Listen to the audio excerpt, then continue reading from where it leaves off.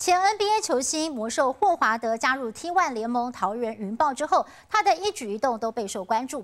今天他随队到馆长的健身房训练，现场秒变成粉丝见面会，馆长热情招待他，而且呢还留下了合影。只是啊，站在两百零八公分的魔兽旁边，身材本来就很壮硕的馆长，瞬间呢就小了一号。被网友亏说，真的看起来是小鸟依人。另外，霍华德似乎非常喜欢台湾的美食鸡屁股。今天呢，在整个训练的过程当中，还不断的跟教练讨论前一晚在夜市吃到的美食。配合训练员积极备战魔兽霍华德的首场秀进入倒数阶段，馆长陈志汉也提供场地，让球队有隐秘的重训空间。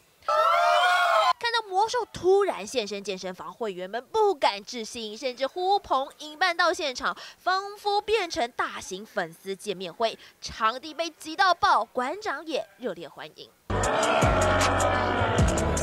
搞笑秀肌肉合影，只是两人合体的这一幕被网友给亏翻了。站在两百零八公分、一百二十公斤的魔兽旁边，原本壮硕的馆长也瞬间小了好几个 size，变得超迷你。现场还有死忠粉丝早早就备好球衣，等着跟魔兽霍华德要签名。不然他的签名可能就是只有签名而已，可是他这个是有签到，就是，哎，I love you 跟 God bless you。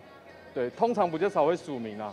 所以会到署名，其实算应该心情还不错。他会学馆长那边走路啊，然后然后休息的时候有音乐，他会在那边跳舞，这样子还蛮 chill 的。协助教练纠正队员动作，但过程中还在怀念台湾夜市美食，尤其是那鸡屁股，似乎很对魔兽的胃。过了整整一个晚上，还在聊 chicken ass。I have some chicken ass. Really? Yeah. You ever had chicken ass? Yeah. Chicken ass. Chicken ass. Oh. 就是这一小小口，让魔兽永生难忘的鸡屁股真的爆红了。看看这经典的反应，还有这表情，让人印象深刻。抢不到球票的球迷们有什么关系？这几天在路上捕获野生魔兽似乎更有趣。这台北综合报道。